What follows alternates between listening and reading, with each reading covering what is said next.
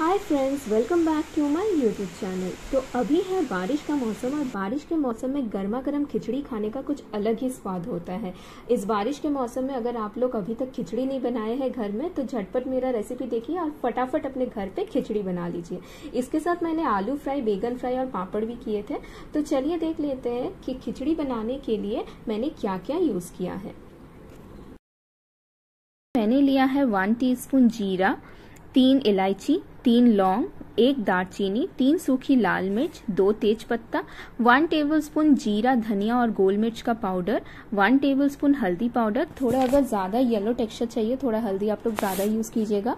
One teaspoon गरम मसाला one teaspoon sugar और नमक स्वाद अनुसार।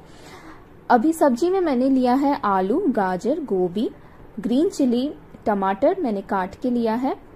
एक ही टमाटर मैंने लिया है और वन टेबलस्पून जिंजर पेस्ट और कोकोनट को मैं ग्रेट करके ली हूँ। अगर आप लोग के पास पीस है तो आप लोग पीस भी यूज़ कर सकते हैं। मेरे पास घर पे नहीं था। ये पीस का मौसम नहीं है तो मेरे पास नहीं था तो मैंने यूज़ नहीं किया। इसके साथ मैंने घी लिया है, देसी घी और 400 ग्राम सोना मूंग दाल और 400 ग्राम गोविंद भोग चावल लिया है।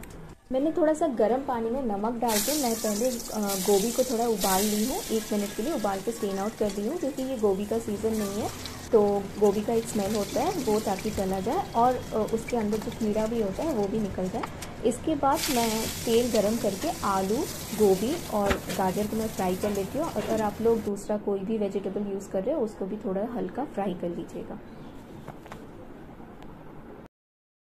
सब्ज़ी मैंने रिफाइंड ऑयल में फ्राई किया है।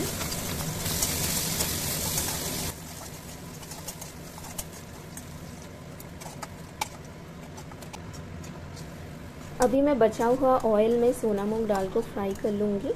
अगर ऑयल नहीं बचा हुआ है सब्ज़ी फ्राई करने के बाद तो आप लोग वन टेबलस्पून घी में फ्राई कर सकते हैं। तो सुंदर एक स्मेल आता है।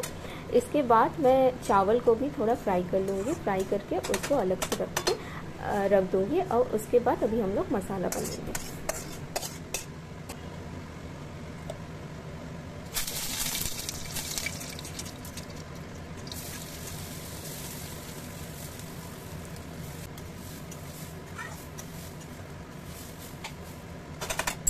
जब तक हमारा चावल फ्राई हो रहा है, तब तक हम लोग थोड़ा मसाला बना लेते हैं।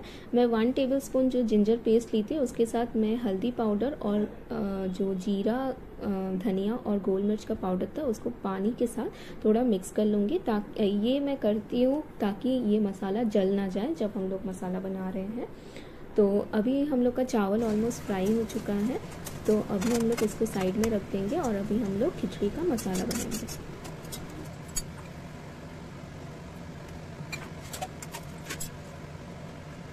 इसमें टू टेबलस्पून अब मस्टर्ड ऑयल लिया है और इसमें तीन सूखी लाल मिर्च फ्राई कर लेंगे उसके बाद तेज पत्ता दे देंगे और लौंग इलायची और दालचीनी दे के फ्राई कर लेंगे। उसके बाद वन टेबलस्पून जीरा दे देंगे।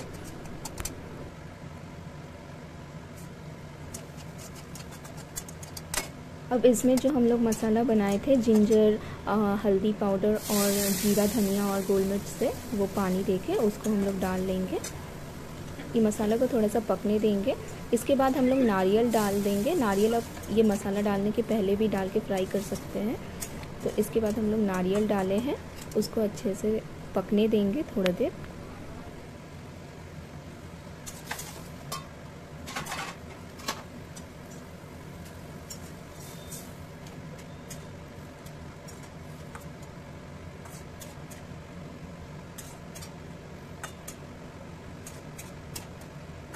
मसाले के स्वाद अनुसार मसाले का नमक दे देंगे।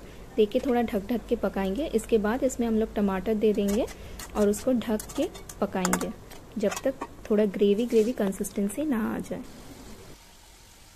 अभी मैं एक हंडी में लगभग दो लीटर पानी गर्म कर रही हूँ। आप लोग अपने क्वांटिटी के हिसाब से पानी गर्म कीजिएगा। मेरे जितना क्वांटिटी मैंने लिया है तो लगभग दो लीटर पानी मुझे लगेगा तो मैं दो लीटर गर्म कर रही हूँ।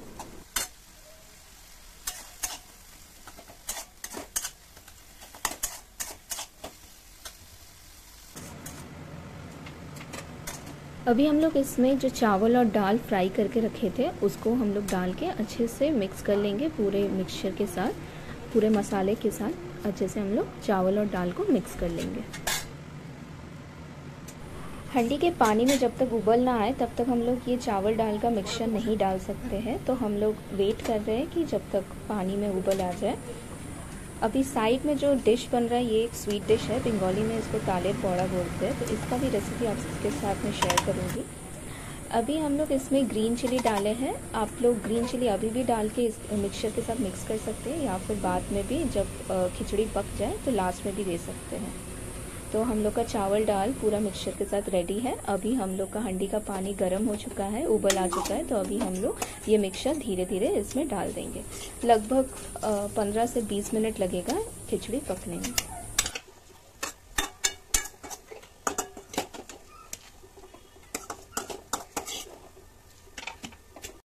अभी हम लोग के चावल डाल कर मिक्सचर डालने के बाद अभी हम लोग जो फ्राई किया हुआ सब्ज़ी है, उसको डाल लेंगे और खिचड़ी को लगभग पकने में 15 से 20 मिनट लगता है, लेकिन फिर भी आप लोग देखिएगा कि दाल पका है कि नहीं। जब तक दाल नहीं सीजेगा, तब तक खिचड़ी नहीं पकेगी, क्योंकि दाल सीजने के बाद खिचड़ी का कंसिस्टेंसी बहुत डिफरेंट लुक होता है तो चावल सीज जाएगा, लेकिन दाल सीजने में थोड़ा टाइम लगता है। अगर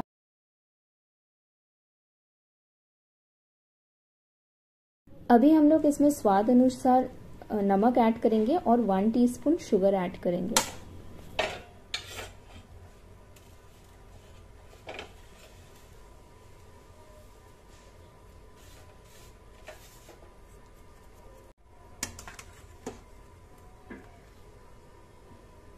धनिया पत्ता के बिना खिचड़ी का टेस्ट थोड़ा अधूरा रहता है तो मैंने ऊपर से धनिया पत्ता दे दिया है काट के। और देखिए, लगभग खिचड़ी हम लोग का पक चुका है। तो इसके बाद हम लोग इसमें वन टेबल स्पून घी देंगे और घी देने के बाद दो से तीन मिनट हम लोग उसको उबलने देंगे, उसके बाद हम लोग फ्लेम ऑफ़ कर देंगे।